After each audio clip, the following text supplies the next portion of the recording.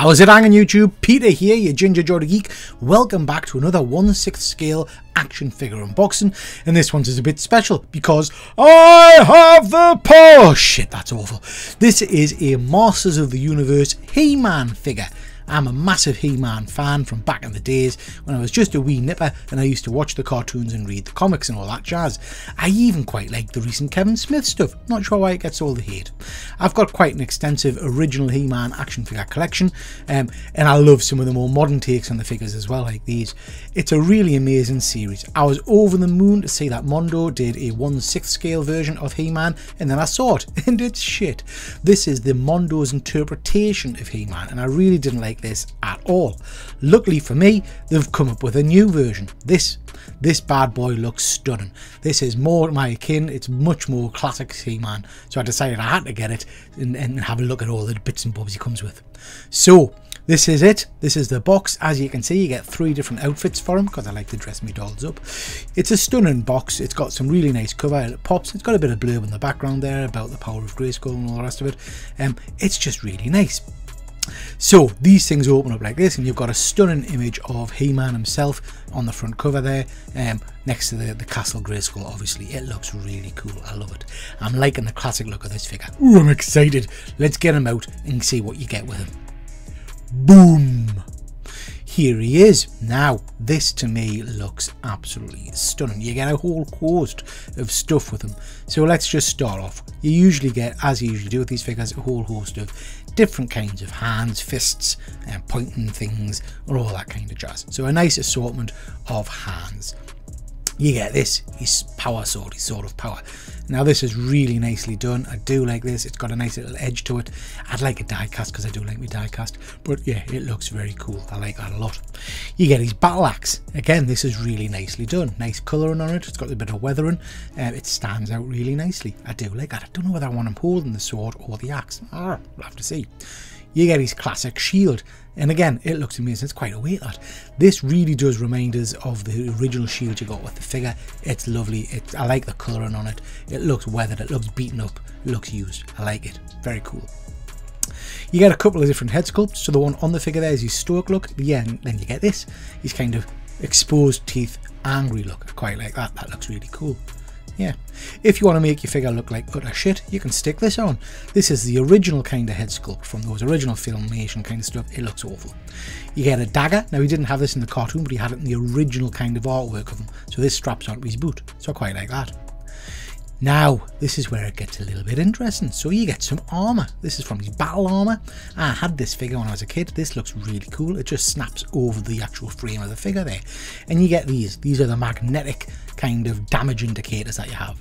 So in the original toy, though, they kind of spun around, but I like that. So you get a normal one and you get a damaged version. That's pretty cool. That's a nice little effect. I'm not sure. I quite like that. I might have to get. Oh, I don't know whether I'll have that on him or not. You get this. This is his kind of his lightning punch effect. And um, for when you've got him using the other sword and stuff. I'm not that familiar with that figure. I can't remember having that one.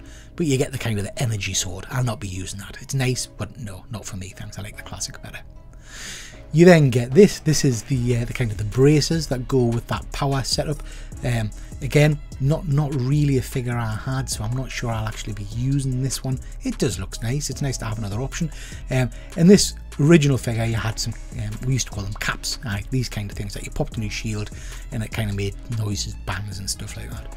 Um, it's nice that they replicated that. But yeah, nice, but not what I'll be using.